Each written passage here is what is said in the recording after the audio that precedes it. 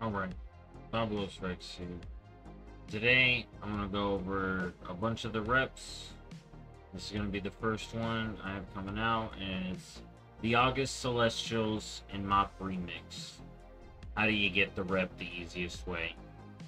This is kind of opinionated, but it's also, to me, the fastest way to get it, and I don't think there's a faster way. But let's go over how you can get the rep. So, the easiest and simplest way to get to re the rep is to grab the quest from this guy, and he'll direct you to where the August Celestials are for the day.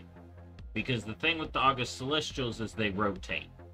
So sometimes they're on Kun-Lai, sometimes they're in Townlong, sometimes sometimes they're in Krasarang, and sometimes they're in the Jade Forest. Okay, and this gentleman, uh, for the Horde, it would be at the Shrine of Two Moons, but they'll also be on the the bottom level here, around the center. It'll be the August Celestial Quartermaster. Okay, and you go over, you do the dailies. So today it'd be at, at the Temple of the White Tiger.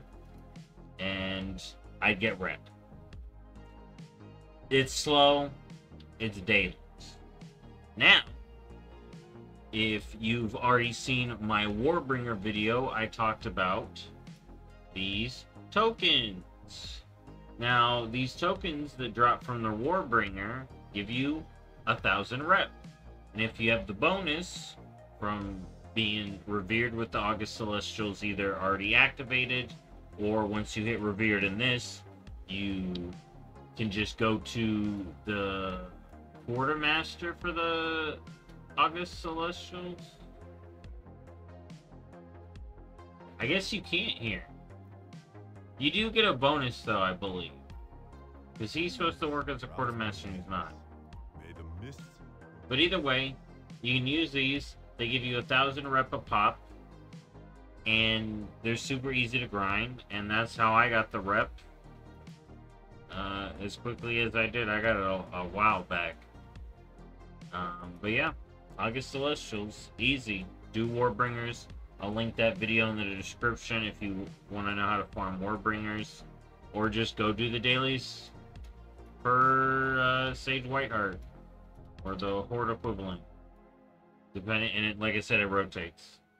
Or, or here, all the reps here, as you can see, they have this little daily marker. You could also see where it is with the daily markers. So here, I'll abandon this, right? Look, on my map, boom, aid the August Celestials, complete these dailies, or exchange lesser charms of good fortune, so you can turn these into rep with the August Celestials. I actually do not recommend that because these work better with another rep.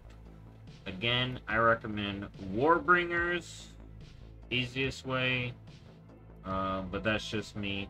Thank you for watching. I'll see y'all in the next one. Bye-bye.